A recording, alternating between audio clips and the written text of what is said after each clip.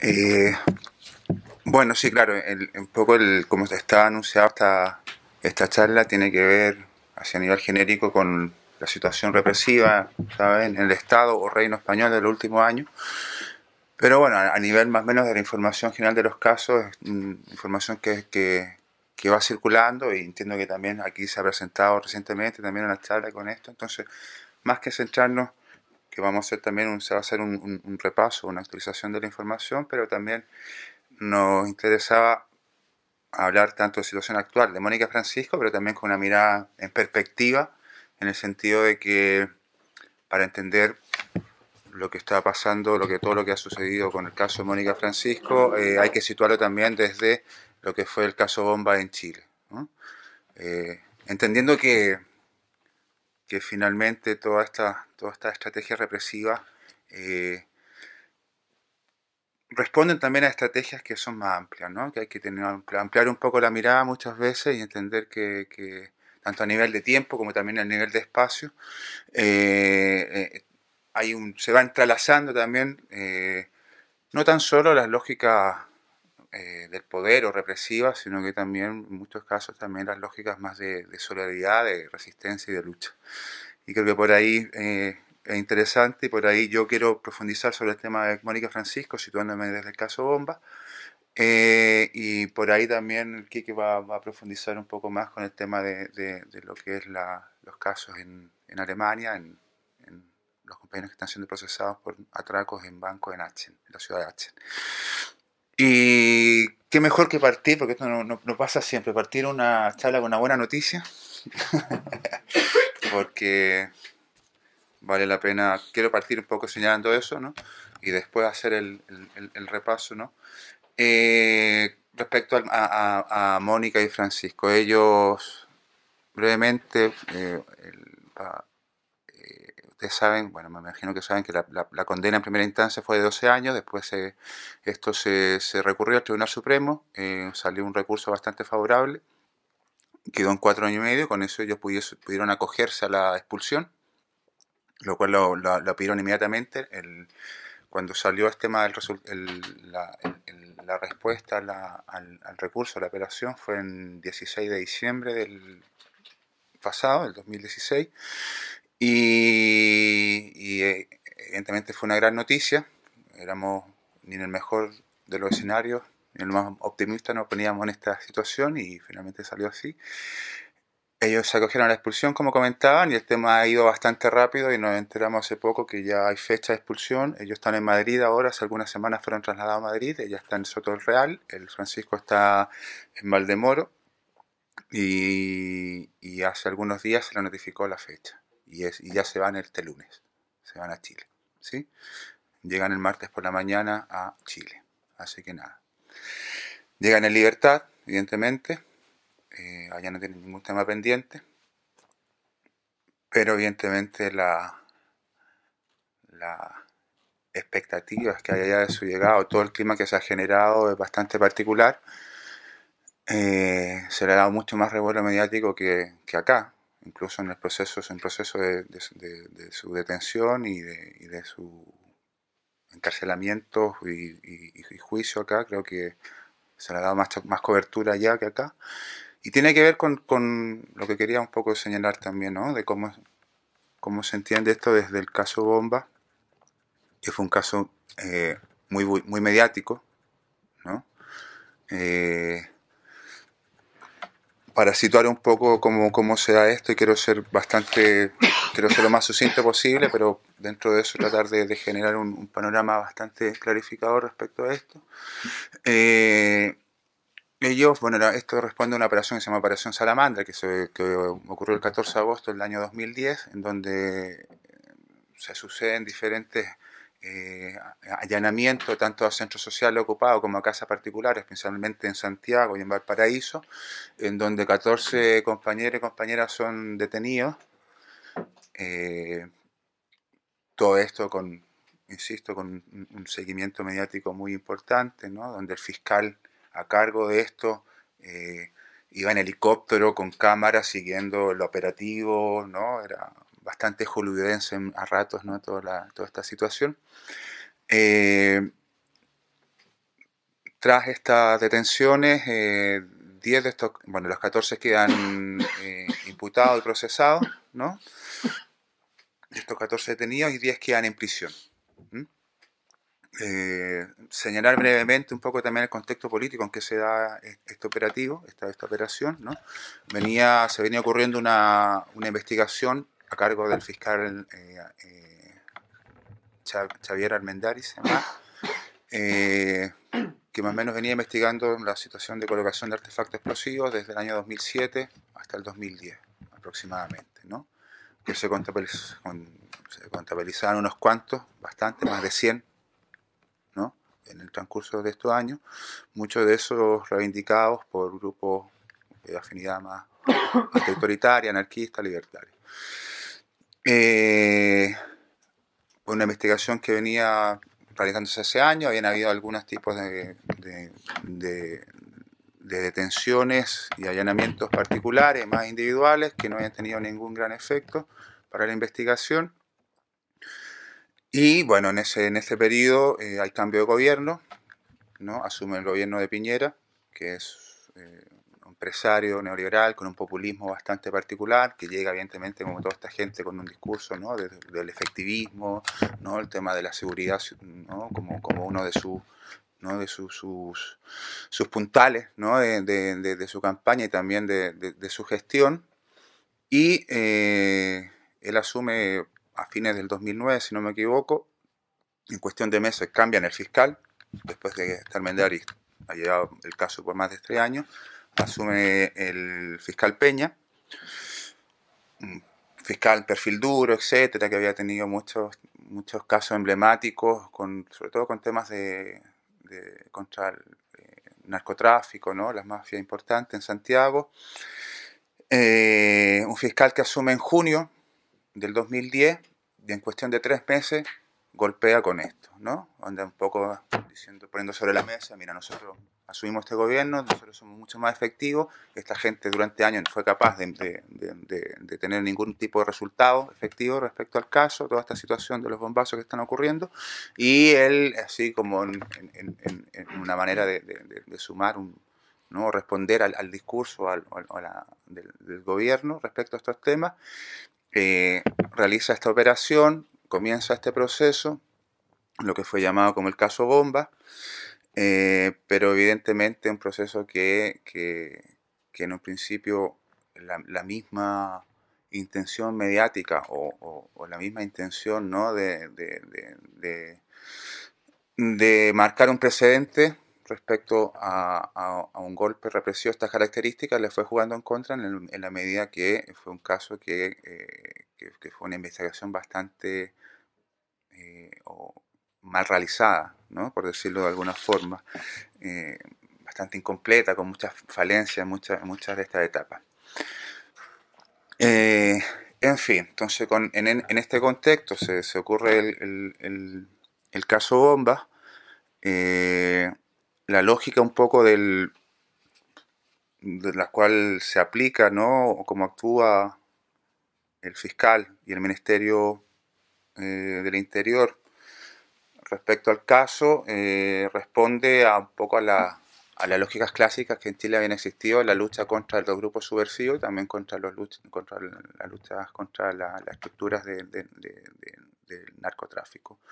En el sentido que eh, identifican, ¿no? cuando son las, 14 personas imputadas, el, aplica la, la, clásica lógica vertical, ¿no? organizacional, en donde define líderes, ¿no? Dos líderes definen los soldados que le llamaban la gente que cometía las acciones y, una, y, otro soporte más operativo que tenía que ver con financistas, etc.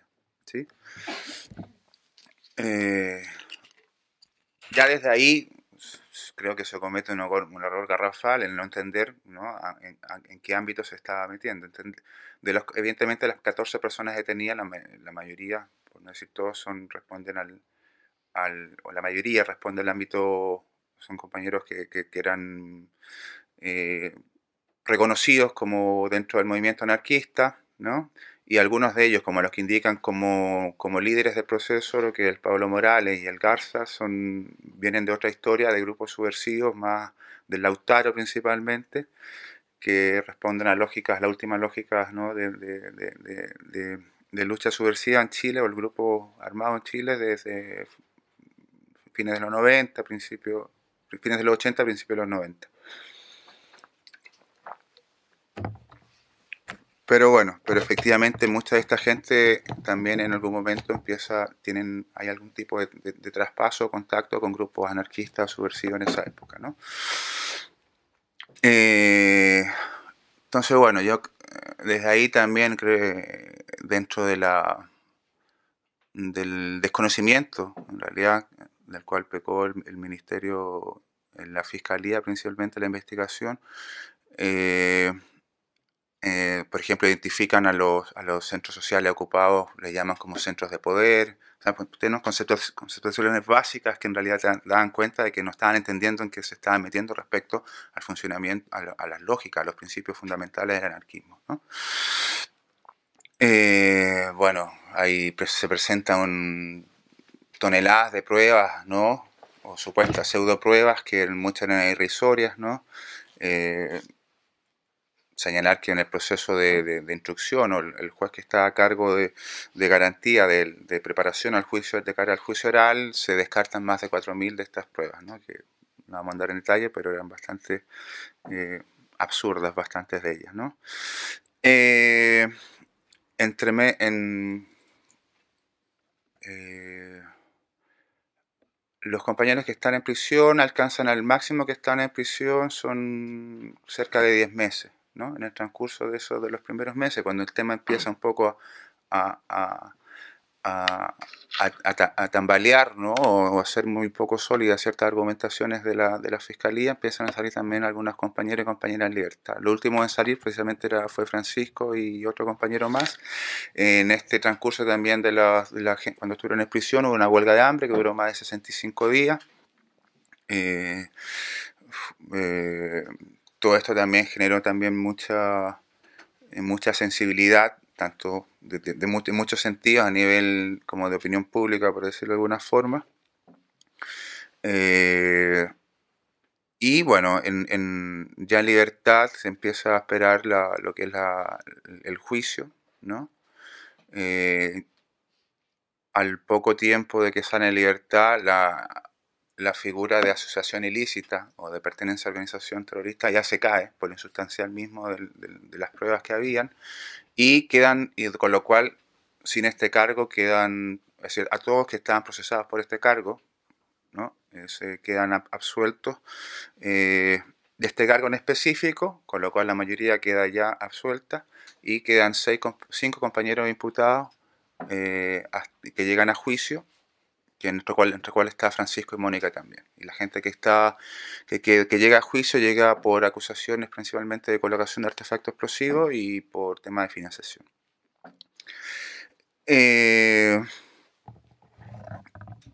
bueno, el juicio comenzó en, noviembre de 2011, ¿no? dentro del marco de la reforma procesal penal, que fue muy bullada en Chile, fue como uno de los casos que, que, inauguró esta reforma procesal penal a través de juicios orales, que antes en Chile funcionaban de otra forma el, sistema, el, proceso de penal.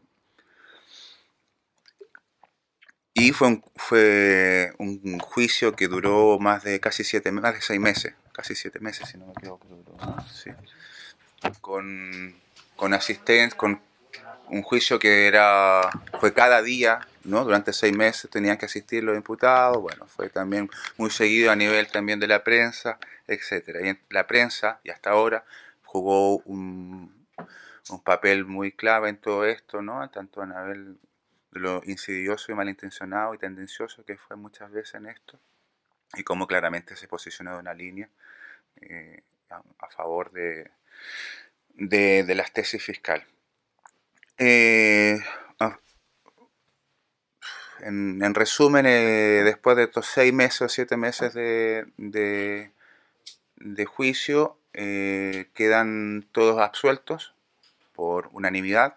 Fue un juicio, fue, un, fue una fue una resolución categórica ¿ya? Y fue un papelón bochornoso para tanto para las policías como para el Ministerio del Interior, como para la policía, eh, para la eh, fiscalía que llevó el caso y para la ANI también, que fue la Agencia Nacional de Inteligencia, que también quiso ser clave en esto y finalmente terminaron siendo eso, ¿no? Un, papelón que le tuvo un costo para ellos importante. Eh, en esta situación, Francisco y Mónica y los otros cuatro eh, compañeros quedan, quedan completamente absueltos y ellos, en, evidentemente ahí hay un tema de, de una de una venganza política, ¿no? O de una de, un cobro que después se le hace sentir acá con los hechos que pasaron aquí posteriormente. Ellos viajan, eh, si no me equivoco, como a mediados del 2012 o al poco tiempo que haya salido la, la, sentencia absolutoria, ya deciden viajar a España. Eh, y eh, evidentemente su llegada acá no, no pasó desapercibido para la policía ni para las autoridades, bajo antecedentes que se encargaron de poner ¿no? en claro la gente, las policías del gobierno de Chile. Eh, y de ahí ya nos pasamos a lo que quiero hacer eh, referencia a todo lo, lo, que fue el caso acá.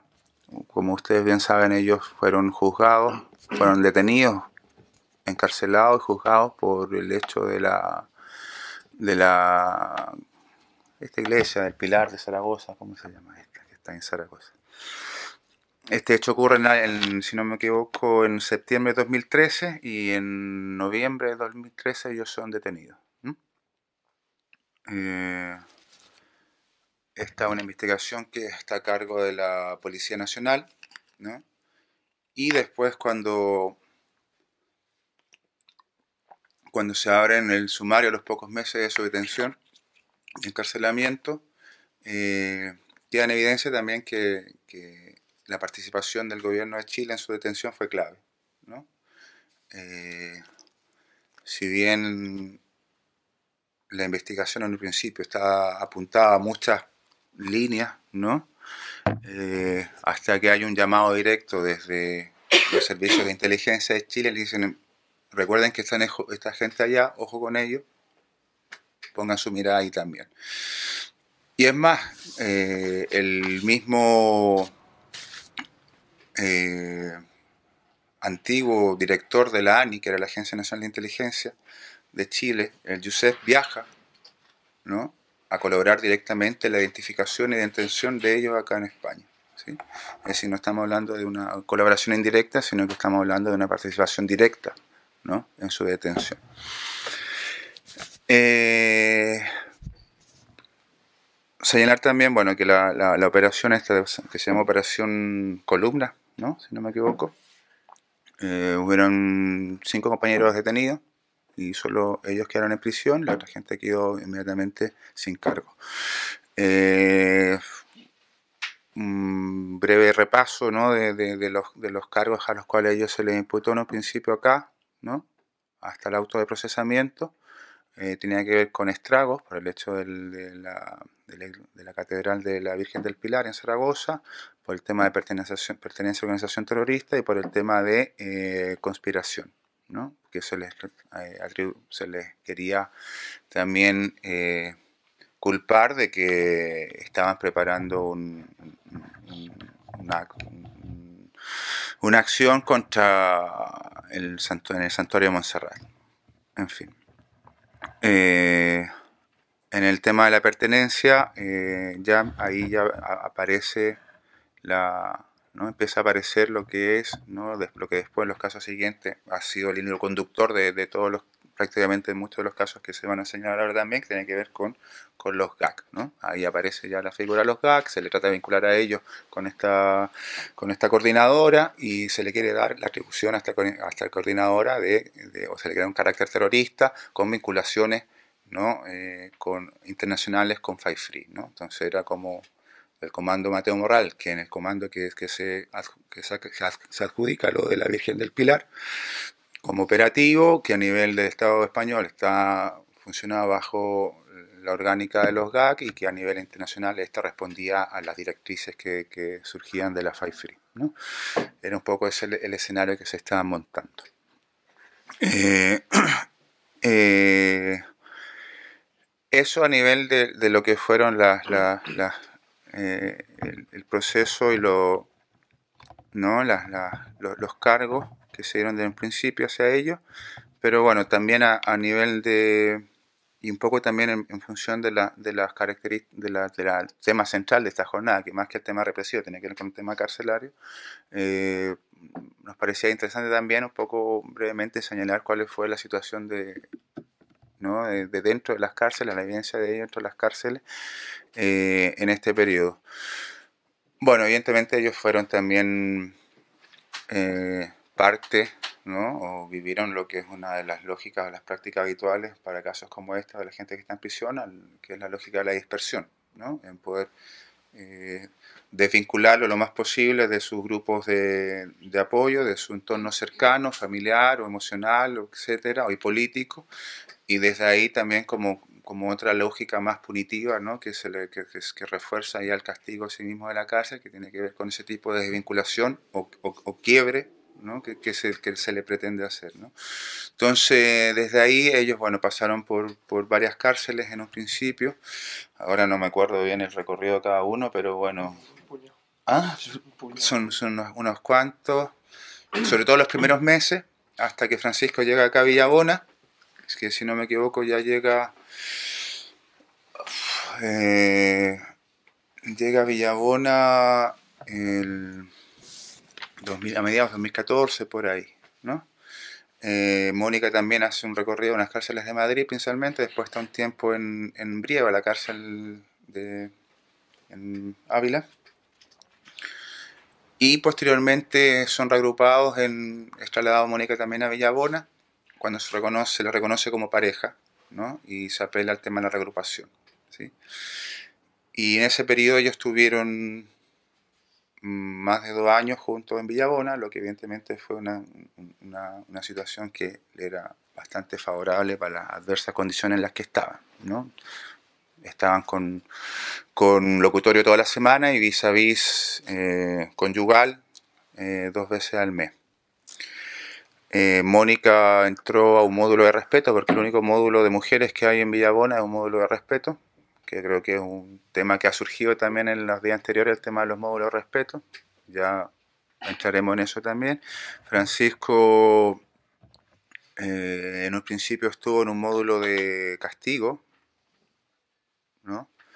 Durante más de un año, un año y medio prácticamente, y un poco antes del juicio, un poco antes de marzo del 2016, lo trasladan a un módulo un módulo normal, ¿no? no me acuerdo cuál era, en el cual dura poco tiempo también porque después es trasladado a un módulo, módulo de conflictivo, que es donde, hasta donde estuvo antes de ser trasladado ahora a Madrid. ¿no?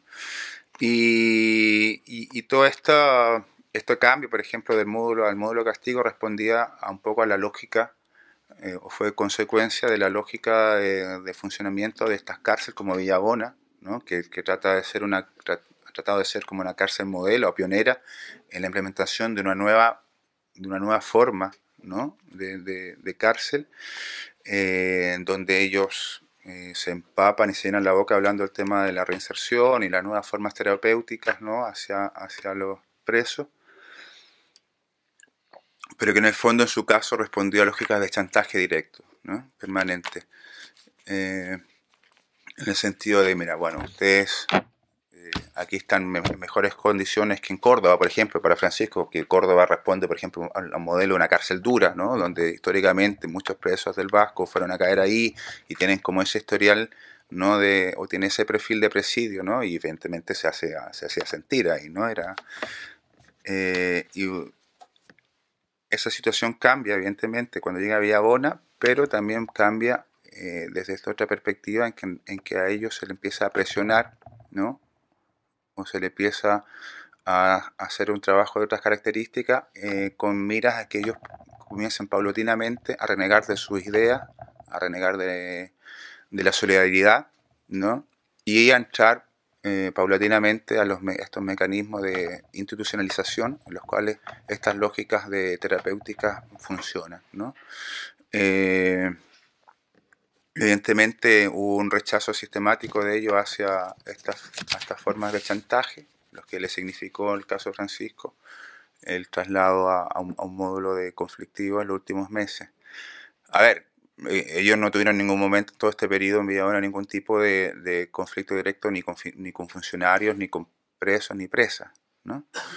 Eh, pero sí una negación sistemática a esta forma de chantaje. Y eso fue finalmente lo que siempre se le, se le fue una, una, constante que creo que, que, es muy clara y responde y visualiza bastante lo que es eh, estas, estas nuevas formas terapéuticas o estas pseudas ¿no? modelos más humanos de reinserción en los cuales se, se quiere encasillar o, pretende aspirar a una cárcel como Villabona.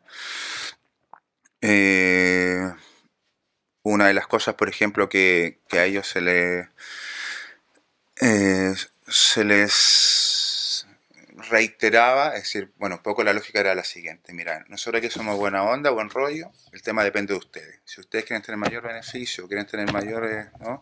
tienen que ustedes dar, dar, señales también, ¿no? Y esas señales tenían que pasar, por ejemplo, con, con que siempre se le hacía hincapié que ellos estaban recibiendo además muchas cartas de muchos países, de compañeros que manifestaban solidaridad de muchas formas y que eso era perjudicial para ellos y que ellos tenían que de alguna manera hacer público una negación a eso y también le pedían explícitamente que hicieran una que renegaran de la violencia, de la violencia política, ¿no? bajo los cargos a ellos que se le estaban atribuyendo.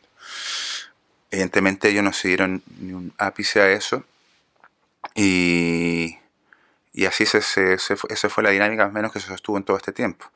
Eh, en el caso de Mónica ya estuvo en un módulo de respeto, eh, lo cual también un poco a partir de los relatos de ella tiene estas, particularidades ¿no? que, que, que muchos ya conocemos, ¿no? que finalmente tiene que ver eso con la institucionalización del preso, ¿no? de que el preso sea parte del engranaje ¿no? de control interno de las mismas cárceles, funcionan con asambleas diarias, funcionan con, bajo las lógicas del, del chivateo, funcionan con la lógica de la complicidad del preso con la funcionaria y funcionario, y funcionan con la desestructuración finalmente de la, de la, de la, de la lógica o, del... Mm, de la atomización del preso en cuanto a, a, individuo que debe velar por su propio bienestar, ¿no? en donde debe reconocerse la institución como un aliado y en donde debe ver a sus compañeros y compañeras ¿no? Eh, como muchas veces como un peligro o como, como, como sujetas a, también a, a, incluir a esta lógica. ¿no? Eh, evidentemente ahí Mónica tuvo muchas diferencias muchas distancias, no solo con funcionarios y funcionarias, sino que también con muchas de las compañeras que finalmente eh, adscriben o entran en esta dinámica de funcionamiento, en donde el carcelero ya no es el enemigo, sino que tiene que ser tu aliado, de fondo. ¿no? Eh, en resumen, eso fue un poco lo que las dinámicas que se dieron al interior de, de la cárcel ¿no? para ellos. Eh,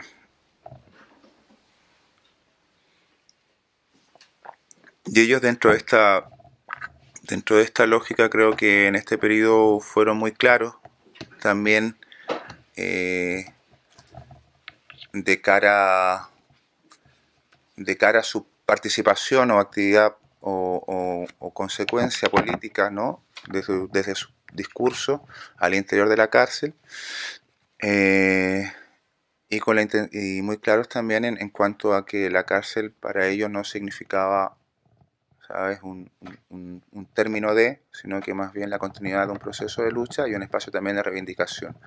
¿sí? Y bajo esa lógica hubo, desde mi punto de vista, coherencias que yo creo que son bastante eh, rescatables. Eh, dentro de eso mismo quisiera, bajo esta misma lógica, leer unos fragmentos de, de que también nos sitúa también al tema que estamos hoy en día en esta jornada, en esta semana, que tiene que ver con, con la cárcel y cómo entendemos la cárcel también, pero también desde quienes están dentro de la cárcel con, un, con, un, con una con una práctica también de, lucha, de reivindicación y de denuncia. Eh, entonces quería leer unos fragmentos de un comunicado que sacó el año pasado el Francisco, que se llama Aquí nada termina, sobre la necesidad de asumir nuestras opciones en toda su amplitud. ¿sí? Eh, leo brevemente, leo unos fragmentos para extenderme mucho. Dice, bueno, tenemos una rica historia, fuerte idea y mucha imaginación para reinventarnos constantemente. Al asumir la vida desde esta perspectiva, se está asumiendo también la cárcel en la medida que es inseparable con la postura confrontacional. La prisión está en nuestra cotidianidad, no solo para quienes estamos dentro de ella, sino que para todos los que apuestan por el conflicto permanente contra el poder. Está en nuestras conversaciones, en nuestros pensamientos y proyectos. Está presente en cada paso que damos en el camino por la liberación total, por lo que desdramatizar el tema de la prisión se hace imprescindible. Intentando afilar un poco la idea, eh, al optar por llevar una vida contraria a toda forma de autoridad y poder, al declararnos abiertamente enemigos de este, asumimos, que asumimos sus consecuencias, entre ellas la cárcel, al igual que asumimos muchos otros elementos que trae consigo este posicionamiento. Sin embargo, todo comienza con nuestra opción libremente elegida de combatir lo existente, por lo que el paso por la cárcel está contenido en esta opción, es parte de nuestra opción. Dando una mirada a la historia podemos ver que todos los que han intentado destruir el poder han tenido presente la prisión en su paso por esta, por este mundo, sea de manera directa o indirecta. La cárcel se hace ineludible para quien decide seguir la práctica señalada, que, más que una posibilidad, se constituye a modo de certeza, como una consecuencia muy difícil de esquivar. Se hace inseparable de la lucha. Entonces, si la prisión es un elemento que conforma la vida que elegimos, podemos afirmar que en definitiva es una opción. El anarquismo es una tensión, no una realización. Con esto no se pretende hacer un llamado a la pasividad, por el contrario, es la búsqueda constante de, instantes de libertad y la extensión y la multiplicación de estos lo que da calor y color a nuestras vidas. Es el intento de romper con verdades absolutas que nos, eh, lo que nos anima a seguir. Por lo tanto, si partimos de la base que la cárcel, aunque eh, tratemos de evitarla, se constituye como una opción asumida desde el momento que asumimos la lucha, es necesario entender que con esta nada termina. No representa la culminación de proyectos, ideas o prácticas, sino otro espacio desde donde luchar, desde donde continuar la lucha. En este sentido, pienso que los anarquistas en prisión no somos solamente presos. Reducirnos únicamente a esta definición correspondería a limitar nuestro planteamiento, impidiendo que continuemos participando en la lucha por la liberación total en toda su extensión y complejidad. Entendemos solamente como, entendernos solamente como presos, eh, centrar toda nuestra iniciativa en el marco de la vida en prisión, sería prácticamente relegarnos al espacio en el que, el, poder nos, obliga a estar y creo que esto es necesario intentar superarlo. En cada iniciativa libertaria está la idea y la intención de acabar con las cárceles, entonces la, participación de los presos anarquistas en las diferentes experiencias de confrontación, discusión o debate conlleva necesariamente al punto de vista anticarcelario, pero como dije anteriormente, no debe acabar en este si lo, pretende, si lo que se pretende es echar de abajo los muros y no quedar reducido a este espacio. Nada termina, todo continúa. En la confrontación recuperaremos nuestras vidas. Eh, bueno, me parecía interesante eh, eh, leer parte de este comunicado en el sentido de, de quizás también ampliar, eh, abrir una, en su momento cuando ya hablamos más el, debate o la conversación, ¿no? A, a, darle una vuelta al tema de la cárcel desde otra perspectiva, ¿no? desde quienes también están dentro desde una de un posicionamiento claro ¿no? y bajo una, un espacio de construcción política también claro y no bajo un fatalismo que muchas veces se, se, le, se, le, se le, atribuye o a la cárcel ¿no? con, con, todo lo que significa, sin, sin desmerecer todo el peso y todo el cuestionamiento que hacemos hacia la cárcel, evidentemente desde que nos planteamos desde una lógica anticarcelaria, pero también dándole una vuelta de tuerca a, este posicionamiento. Eso. Eh, solo para terminar y también dar un poco de creo que un elemento también que, tiene que, que, quería recalcar, que tiene que ver con la colaboración de los estados, ¿no? y que no tan solo se ha visto en el caso del caso de Chile, eh, la colaboración entre Chile y España con Mónica Francisco, sino que también se está viendo en casos como el de Lisa, con lo que han sido las, las estrategias conjuntas que ha asumido la policía alemana con la policía, con los Mossos de Escuadra, más específicamente en Cataluña, Eh, señalar que eh, cuando los chicos estaban presos, mientras seguían presos, eh, bueno, hubo una serie de hechos en Chile en el año 2014, ¿no? A mediados del año 2014, como de mucho revuelo. Hablando de, también de, artefactos explosivos que se colocaron, que tuvieron mucha repercusión y mucho revuelo público, ¿no? A partir de eso, el, gobierno de Bachelet ya había salido, el gobierno de Piñera, estamos hablando del año 2014, eh, asume, eh, endurece el discurso, ¿no? Y, anuncia medidas más estrictas respecto tanto a la modificación de la ley terrorista que estaba en discusión en esa época, como también de, de, mejorar ¿no? y, hacer y, perfeccionar los mecanismos de represión ¿no? respecto a estas situaciones. Eh, desde ahí eh, hay un viaje, en, si no me equivoco, en, octubre del, del de, ese año, el 2014, del Ministerio, del Ministerio del Interior de Chile, aquí a España, donde se junta con su par, acá Fernández, y lo cual se concretiza en diciembre, en noviembre del mismo año, el 2014, en un acuerdo, no en un convenio eh, de colaboración entre en los gobiernos de Chile y España en temas de seguridad, eh, específicamente la lucha contra, el, contra la delincuencia y el terrorismo, ¿no?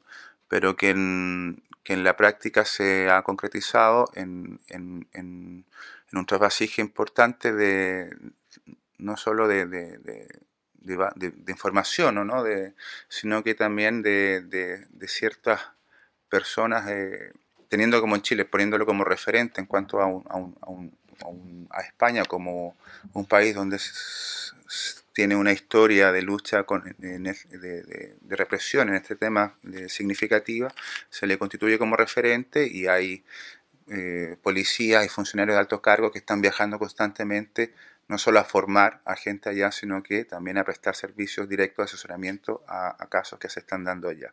¿sí?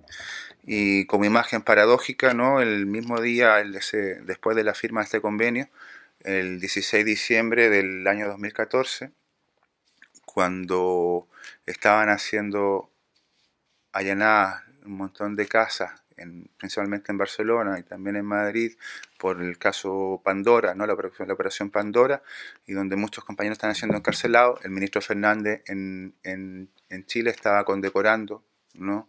a funcionarios de la PDI, que es la, Policía de Investigaciones de Chile, ¿no? por su servicio a los trabajos de inteligencia.